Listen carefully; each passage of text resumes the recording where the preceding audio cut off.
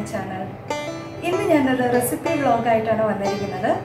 നമ്മൾ non vegetarians പൊതുവേ fish curry common ആയിട്ട് കഴിക്കുന്ന ആളുകളാണ് അല്ലേ?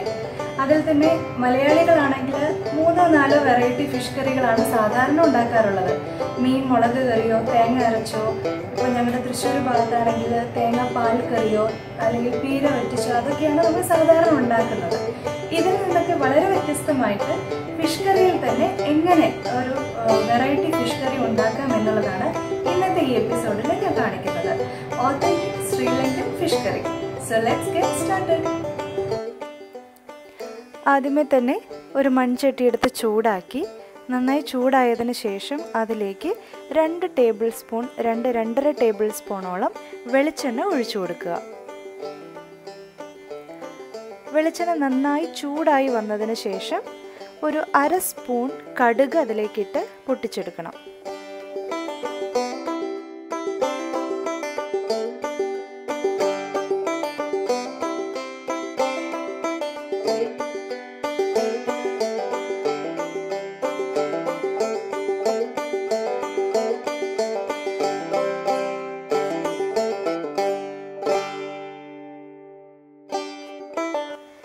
ഇതിലോട്ടേക്ക് ഇഞ്ചി വെളുത്തുള്ളി ചതച്ചതും ഒരു മീഡിയം സൈസ് സവാള ചെറുതാക്കി അരിഞ്ഞതും ഇട്ടുകൊടുത്ത് നന്നായി ഇളക്കി വാട്ടിയെടുക്കണം.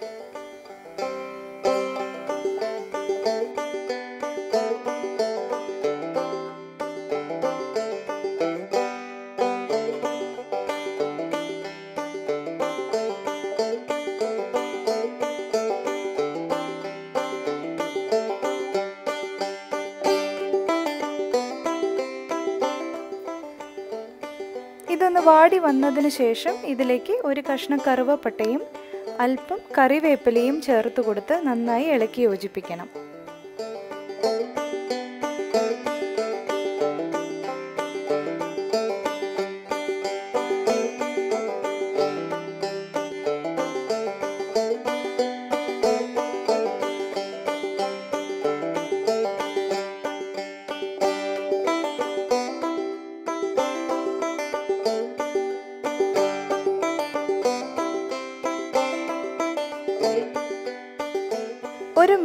സൈസ് തക്കാളി ചെറുതാക്കി അരിഞ്ഞതും ചേർത്ത് കൊടുക്കണം.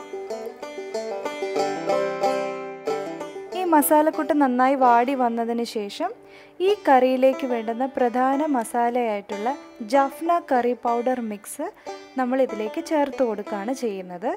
ഇതെങ്ങനെയാണ് ഈ ജഫ്ന കറി പൗഡർ മിക്സ് വീട്ടിൽ ഉണ്ടാക്കുന്നതെന്നാണ് ഇനി ഞാൻ കാണിക്കാൻ പോകുന്നത്. ഇതിനു വേണ്ടി ഏകദേശം ഒരു ടേബിൾ സ്പൂണോളം മല്ലിപ്പൊടി. നമ്മുടെ കൈവശം മുഴുവൻ മല്ലി ഉണ്ടെങ്കിൽ അതായിരിക്കും കൂടുതൽ നല്ലത്. എന്റെ കയ്യിൽ അതില്ലാത്തത് കൊണ്ടാണ് ഞാൻ ഒരു ടേബിൾ സ്പൂൺ മല്ലിപ്പൊടി അതിന് പകരം എടുത്തിരിക്കുന്നത്. മുഴുവൻ മല്ലിയാണെങ്കിൽ അര ടേബിൾ സ്പൂൺ മതിയായിരിക്കും. ഒരു ടേബിൾ സ്പൂൺ പെരിഞ്ജീരകം കാൽ സ്പൂൺ ജീരകം സാദാ ജീരകം ആറേഴ് ഉണക്കമുളക് ഒരു കഷ്ണം കറുവപ്പട്ട മൂന്ന് നാല് ഏലക്കായ രണ്ട് മൂന്ന് കരയാമ്പൂ കാൽ ടീസ്പൂൺ ഉലുവ അര ടീസ്പൂൺ മുഴുവൻ കുരുമുളക് എന്നിവയാണ് ഈ മസാലയ്ക്ക് വേണ്ടുന്ന ചേരുവകൾ. ഇതിനെ ഒരു പാനിലേക്കിട്ട് അല്പം ഒന്ന് ചൂടാക്കിയെടുത്ത് മിക്സർ ഗ്രൈൻഡറിൽ പൊടിച്ചെടുക്കുന്നതാണ് ജാഫ്ന കറി പൗഡർ മിക്സ്. ഇതെങ്ങനെയാണ് തയ്യാറാക്കുന്നതെന്ന് നോക്കാം. ഇതിനിടയ്ക്ക് ചട്ടിയിൽ വെന്തുകൊണ്ടിരിക്കുന്ന മസാലക്കൂട്ടൊന്ന് ഇളക്കി കൊടുക്കാനായിട്ട് മറക്കരുത്. അത് അടിയിൽ പിടിക്കാതെ നോക്കണം.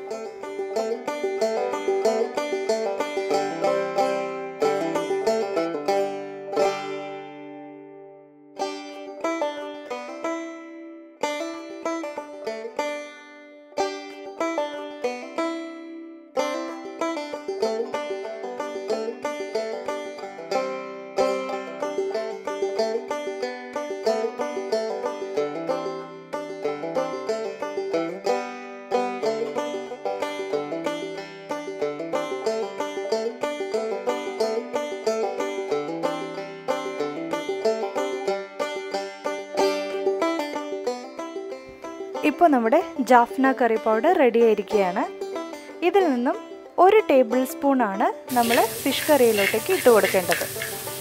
മസാല അല്പം കൂടി ഒന്ന് വാടി വരാനുണ്ട്.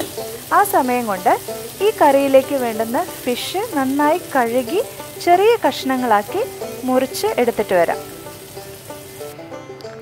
കഴുകി ചെറിയ കഷ്ണങ്ങളാക്കിയ മീൻ കഷ്ണങ്ങളാണിത്.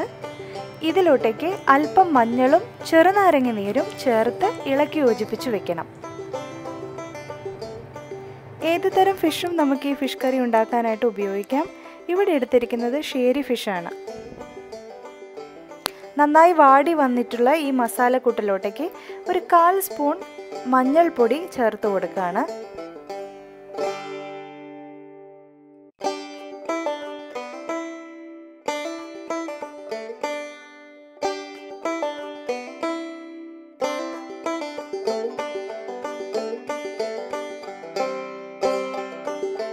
ഇതിലോട്ടേക്ക് നമ്മൾ പൊടിച്ച് മാറ്റി വെച്ചിരിക്കുന്ന ജഫ്ന മിക്സ് ചേർക്കുകയാണ്. ഇതിൽ നിന്നും അല്പം മസാല എടുത്ത് മാറ്റിയതിന് ശേഷം ഒന്നര ടേബിൾ സ്പൂണോളം മസാലയാണ് ഞാൻ ഇതിലേക്ക് ചേർത്ത് കൊടുത്തിരിക്കുന്നത്. ഇനി ഈ മസാലക്കൂട്ട് അതിന്റെ പച്ചമണം മാറുന്നത് വരെ നന്നായി ഇളക്കി കൊടുക്കണം.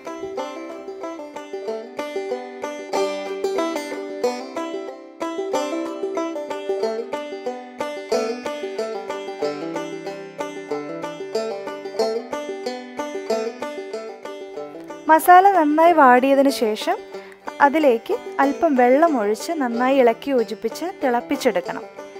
ഇത് തിളയ്ക്കുന്ന അവസരത്തിൽ ഒരു പിടി തേങ്ങ ചിരകിയതും ഇതിലേക്ക് നമ്മൾ ചേർത്ത് കൊടുക്കുന്നുണ്ട്. കൂടാതെ ഒരു നെല്ലിക്ക വലുപ്പത്തിലുള്ള വാളം പുളിയും ഞാൻ ചേർത്ത് കൊടുക്കുന്നു. സാധാരണ കുടംപുളിയാണ് നമ്മൾ ഫിഷ് കറിയിൽ ചേർക്കാറ്. പക്ഷേ ഈ ശ്രീലങ്കൻ ഫിഷ് കറിയിൽ വാളം പുളിയാണ് സാധാരണ ചേർക്കുന്നത്.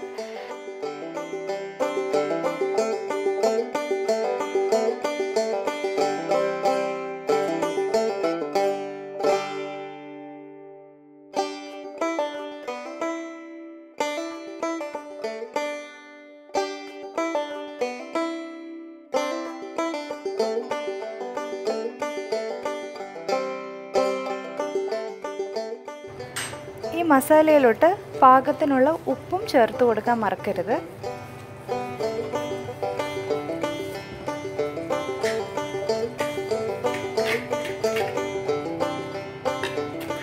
മസാല അല്പം തിക്കാണെന്ന് തോന്നിയാൽ അല്പം കൂടി വെള്ളം ചേർത്ത് കൊടുക്കാനായിട്ട് മറക്കരുത്.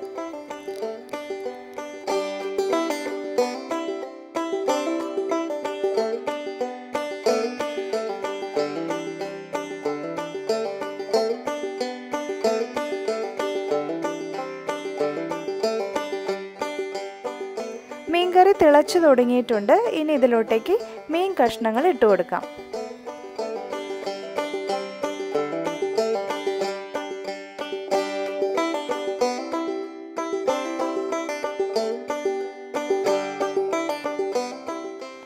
സാധാരണ മീൻകറിയേക്കാളും ഇതിന്റെ ഗ്രേവി അല്പം തിക്കായിരിക്കും.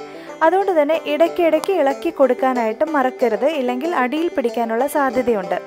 നമ്മൾ സാധാരണ കഴിച്ച് ശീലിച്ചിട്ടുള്ള ഫിഷ് കറിയിൽ നിന്നും വളരെ വ്യത്യസ്തമായിട്ടുള്ള ടേസ്റ്റും ഫ്ലേവറുമാണ് ഈ ഫിഷ് കറിക്കുള്ളത്. തീർച്ചയായിട്ടും നിങ്ങളിത് നിങ്ങളുടെ കിച്ചണിൽ ട്രൈ ചെയ്ത് നോക്കണം. ഇനി ഇതൊരു മൂടി കൊണ്ട് മൂടി മീഡിയം ഫ്ലെയിമിലിട്ട് ഏകദേശം ഒരു പതിനഞ്ച് മിനിറ്റോളം വേവിച്ചെടുത്താണ് ഈ കറി തയ്യാറാക്കിയെടുക്കേണ്ടത്.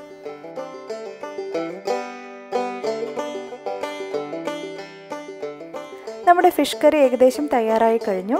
ഇതിലേക്ക് ഒരു കപ്പോളം കട്ടിയുള്ള തേങ്ങാപ്പാൽ ഒഴിച്ചു കൊടുക്കണം.